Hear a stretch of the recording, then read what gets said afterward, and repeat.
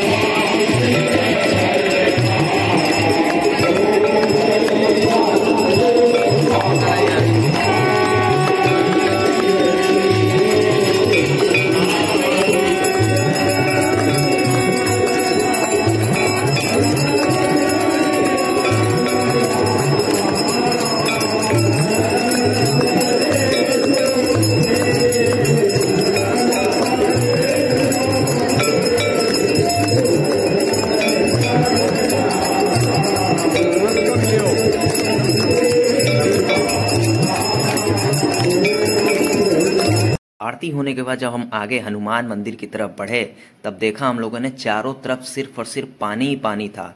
लोगों के घुटने तक पानी आ गया था।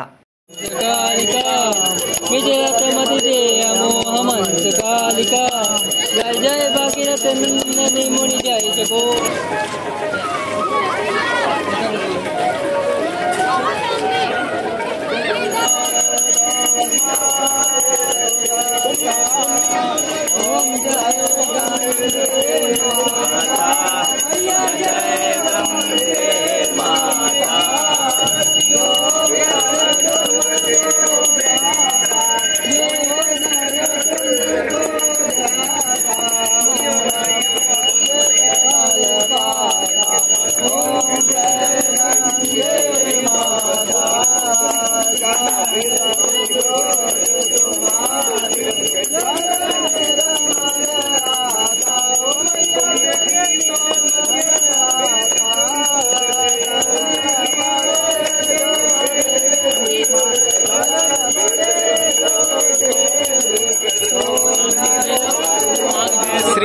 हनुमान जी मंदिर।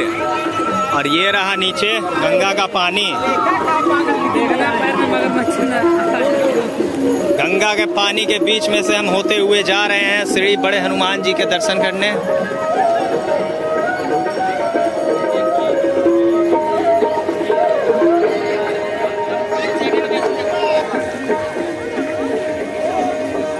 तुमने भक्ति रखी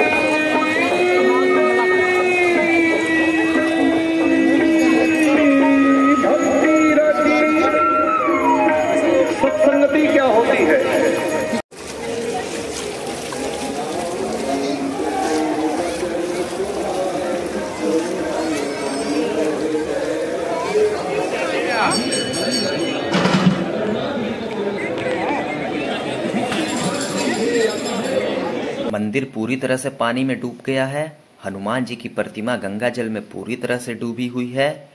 पूजन के बाद गर्भगृह भी बंद कर दिया गया है। अब बाढ़ का पानी हटने पर ही श्रद्धालुओं को दर्शन मिल पाएगा। और मान्यता ये भी है कि गंगा मैया जिस साल हनुमान जी तक पहुँचती है, उस साल विश्व कल्याण का यह संकेत होता है।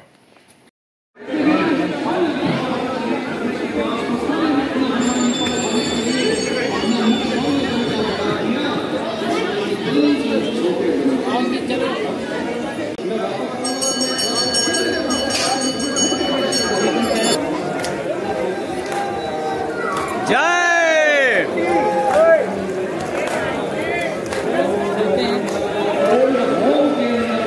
बोलो गंगा मैया।